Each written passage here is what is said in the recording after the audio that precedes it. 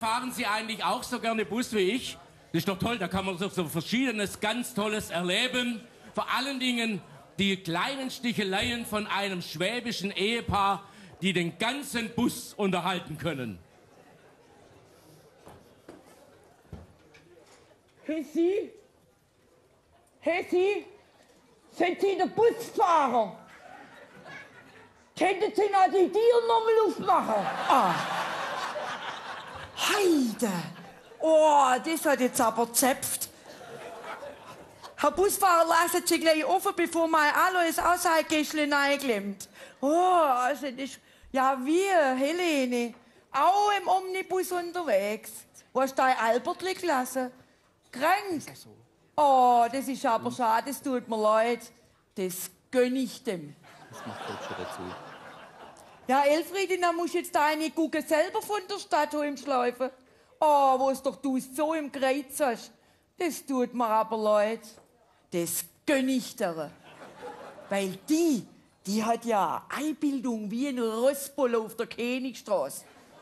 Und das bloß, weil ihr Mann im gehobenen Dienst bei der Stadt schafft.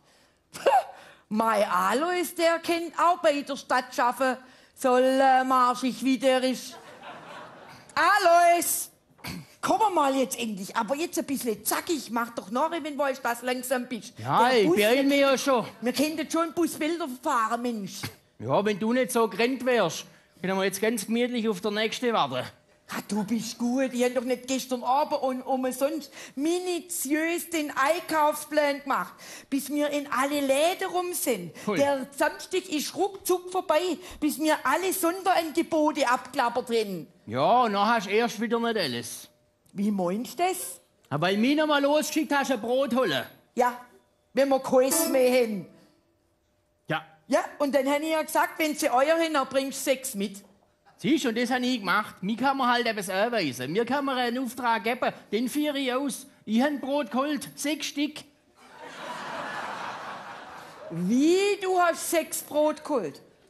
Das, na ja, du hast doch gesagt, ich soll Brot kaufen. Ja. Und wenn sie euer haben, dann soll ich sechs kaufen. Die haben euer Kit. Das glaube ich jetzt nicht. Wow. Bio-Euer, Bodenhaltung, freilaufende, braune, weiße, die Das glaube ich jetzt nicht. Ich kann mir doch gar nichts erweisen, oder? Also du bist doch echt der Dümmste im Flecken. Wieso? Du wohnst doch auch dort. Also mein Mann, der muss einen Bruder haben. Weil einer Leute kann gar nicht so blöd sein. Komm, komm, du hast auch zwei Schwestern. Mach mich nicht narrt, bis Oh. ich bloß wieder in den Bus eingestiegen bin. Ich kann dir sagen, Mähle, letzte Woche hab ich so einen Ausfallschritt in der Busnei machen müssen, dass wir's fast mal Bleiles an der Hose verrissen hat. Hui, das wäre ein Schade gewesen, wenn das Frohdetail verrissen hätte. Kannst froh sein, dass du nicht mehr so jung bist wie die junge Frau, die da gerade rumtanzt. Hm? Warum? Die haben keine Frohdetail mehr, die haben Stringlen.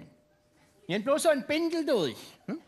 Ich habe jetzt schon eine gesehen, die ist in den Bus eingestiegen, den hohen Schritt in den Bus gemacht.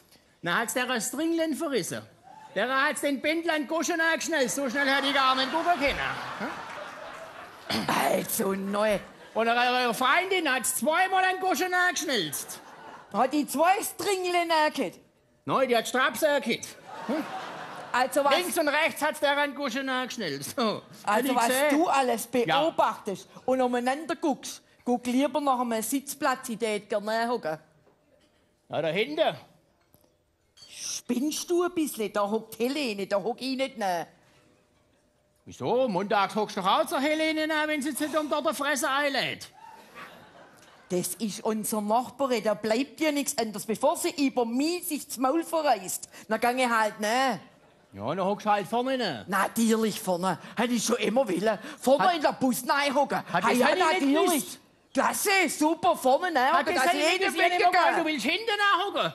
Wir hätten schon öfters hinten nachhocken können. Ich habe immer gemeint, du willst vorne nachhocken. Jetzt bin ich immer hinten umgelaufen, dass du hinten hocken kannst. Jetzt willst du vorne nachhocken. Ah, das musst du mir sagen. Jetzt sind wir 25 Jahre verheiratet und heute sagst du mir, dass du hinten nachhocken willst. Aber woher soll ich das wissen? Ah, das musst du mir mal sagen, dass du vorne nachhocken willst. Stopp! Das kann nicht. Stopp! Der Bus fährt doch noch gar nicht. Meine Güte! Hör doch mal auf, ich hätte das ja bloß ironisch gemeint mit vorne nachhocken. Wie ironisch. Ja, wie, ich will ja gar nicht vorne nachhocken. Ja, dann sag's doch auch nicht. Aber er soll nie wissen, was du meinst. Einmal sagst du, willst hinten und einmal vorne. Oh, Mähle, ich, ich, ich hätte das doch bloß, ich hätte doch das bloß gesagt, aber ich hätte es ja gar nicht so gemeint. Wie wenn ich vorne nachhocken will. Ja, weil du gerade gesagt hast. Oh, jetzt stell dir mal vor, wir hocken vorne und jeder, der reinkommt, kann nicht zuwinken und jeder sieht, dass wir mit dem Omnibus fahren müssen. Und warum? Weil du keinen Führerschein mehr hast. Ich habe nur den Aufforderungen des Polizisten nicht Folge geleistet. Geh. Weil er so freundlich war, so hilfsbereit, so zuvorkommend. Ich dachte, das kann kein echter Polizist sein. Und so war's auch. Das ist das Problem. Ich, ich hätte der Aufforderung Folge geleistet. Ja, du. Hättest du überhaupt einmal den Viererschein gemacht? Ich hab mehr Stunden wie du. Gnädige Frau, haben Sie auch den Viererschein? Ja, darf ich Ihnen auch meinen Stehplatz anbieten? Hey, sag mal, hey, was wird jetzt das? Wieso bändelst du jetzt da an? Ich habe überhaupt nicht bändelt. Ich habe wollen, dass die hat nämlich Was den wollen? Ich habe wollen, die hat den Was Vier- hast du wollen? Ich habe wollen, dass Meine, die... was hast du wollen? Ich hab... Ich kenn dich. Während geht dann auch ein Zwetschge. Ich hab Wille. Ich bin ja her. Wille. So was. Das glaub ich doch nicht. Das Äpfel hätte mir auch besser gefallen wie die Althutzel. Gell? Das hab ich gehört.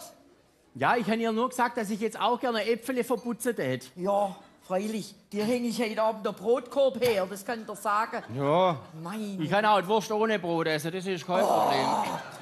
Sag mal, da, guck mal, die da vorne. Hey, ist das du mit den Stringeln da, das junge Fräulein? Mit dem langen Zopf da, wo ein Zopf hat wie Rapunzel, blonde, lange Haar. So ein richtig fetter Zopf, siehst du du? Ja, die sehe ich, aber die war es nicht. Die aber das ist auch nicht Rapunzel. Ja keinen Zopf wie Rapunzel. Rapunzel war schwarzhaarig. Nein, Rapunzel war blond, das weiß man. Ach, schwätz doch nicht raus. Du behauptest wieder Sachen, die überhaupt nicht wahr sind. Rapunzel war schwarzhaarig. Nein. Doch logisch. Das Rapun- hörst doch schon am Namen Rapunzel. So heißt doch kein Schwäbin, Rapunzel. Das ist eine Rumänin gewesen, eine Schwarzhaarige. Rapunzel war blond, die muss, die muss sogar blond gewesen Wieso sein. muss die blond gewesen sein? Ja, weil jede andere hätte der Schlüssel nachgeschmissen. Mann!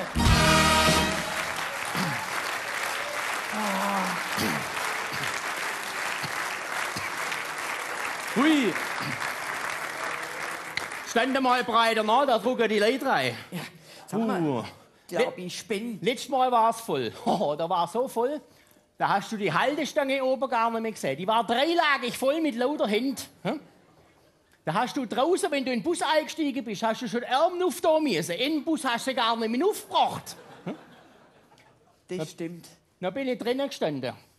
Neben mir ein Schulerbub mit einem Scout-Schulrenzen, so ein Plastikkoffer. Nicht? In jeder Längskurve hat jemand die Hand unter der Rippenbogen unterdrückt.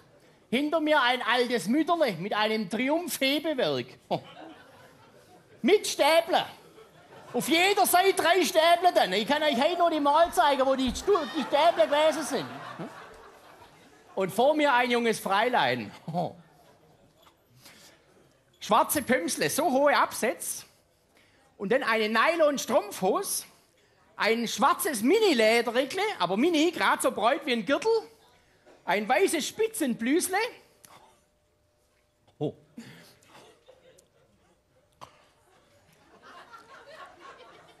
Kugel hat die Kit. Oh. Der oberste Knopf hat gerade zum Do-Kit. Und ein Gesicht, ein Gesicht hat die Kit. Gut, was hat die jetzt für ein Gesicht, Kit? Ich glaube, so weit auf habe ich gar nicht mehr geguckt. Das glaube ich auch. Auf jeden Fall ist die vor mir gestanden. Und dann ich gesagt, gnädiges Fräulein, Sie dürfen sich auch gern bei mir oben festhalten. Er sagt, nein, nein, sie hätte schon einen Haltegriff gefunden. Und ich gesagt, ja, ich weiß, aber ich hätte schon seit zwei Haltestellen aussteigen sollen. Gell?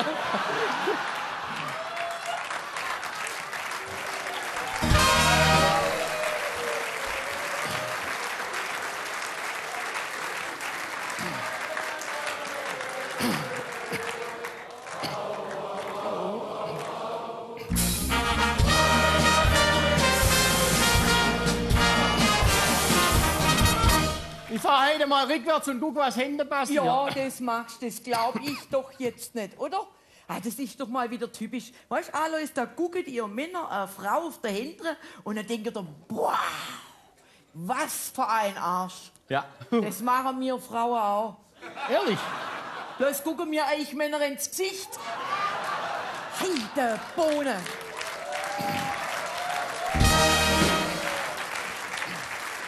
Glaub ich ja gar nicht. Elsbeth, was ist denn das eigentlich für ein Tierle?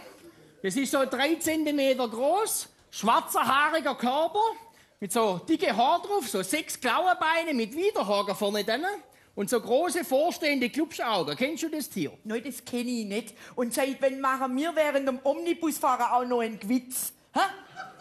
Ha, so ein Blödsinn kenne ich auch nicht, will ich nicht kennen, das Hätte ja sein können, du kennst nachdem es bei dir da am Kragen rumkrabbelt. Was? Mach's weg! Ja, das ist doch ein Ei. Ja, dann hol's raus. Ja, Ja, du da, darfst ja sonst auch nicht neilen. da unten krabbelt's am BH. Komm, hol's raus. Auf, los, beeil dich. Ja, die muss gucken. Ja, ist das unangenehm. Sag mal, hast du neue Schuhe? Ach.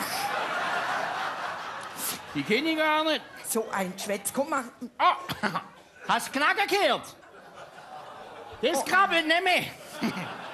Ui. Das ist jetzt aber ärgerlich. Uah. Da musst Pfui. du warten, bis es druckelt ist, dann fällt's weg.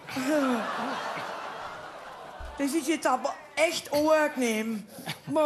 So ist, wenn man Animal Printer hat. Da weiß ich nie, was für Viechzeug noch drin guckt. Hey, Alter. bremst doch nicht so, du Bachel! Herr Busfahrer. Jetzt hat's mir meinen ganzen Busen verdruckt. Ah, das ist nicht schlimm, der hängt sich bei dir wieder raus. Musst zwei, zweimal hochhopfen, dann passt's wieder. Aber mir hat's meine ganze, ganze Tasche im Bus verteilt. Herr Busfahrer, haben Sie Ihren Führerschein im Lotto gewonnen? Mensch, da stimmt gar nichts mehr. Oh, fahren mal weiter jetzt. Ja, eben.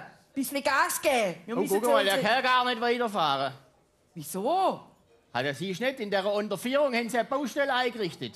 Da haben sie die Höhe jetzt auf 3,10 Meter reduziert. Ja, soll er halt trotzdem fahren? Oder siehst du irgendwo Polizei?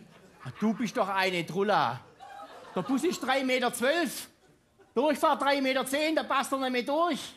Hey, Busfahrer, lass doch ein bisschen Luft aus der Reifen, dann langt's vielleicht. Ha ja, natürlich. Na, langt's vielleicht. Ha, du bist doch blöd, oder? Ha, dem fällt's doch nicht unten, dem fällt's doch oben. Hello!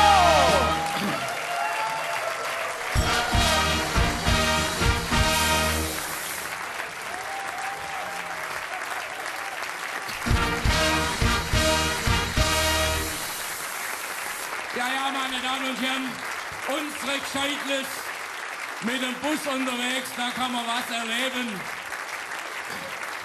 Diese Woche sind die sogar mit dem Bus, was ja vernünftig ist, in eine Bäs nach einer Besenwirtschaft nach Ulbach gefahren. Da sind sie da vier Stunden drinnen gesessen und da hat Elsbeth gesagt, Alois, jetzt trinkst du aus, du hast genug getrunken, ich gang noch schön auf die Toilette und dann gehen wir auf den Bus und fahren heim. Na, ist sie da aufs Lohn ausgegangen, der Alois hat sich nochmal alles einschenken lassen, kommt sie raus, da sagt sie, ich glaub, ich bin. Jetzt hast du dir nochmal alles einschenken lassen, der Bus fährt noch in ein paar Minuten. Dann sagt er, jetzt mit kein Problem, das trinke ich aus, komm, jetzt gangen wir. Dann sind sie vorgewandt, ganz langsam Richtung Bushaltestelle. Dann wollte der Bus gerade wegfahren. Dann ist der Alois, hat sich losgeeist, ist vor, hat an die Tür nachgeschlagen und hat gesagt, Herr Busfahrer, Entschuldigung, täten Sie uns noch mitnehmen? Dann hat der Busfahrer rausgeguckt und hat gesagt, ja, Sie können einsteigen, aber Ihr Affe bleibt draußen. Dann hat er gesagt, sicher jetzt bitte, das hat ich mir gedacht, dass er die hier nicht mitnimmt.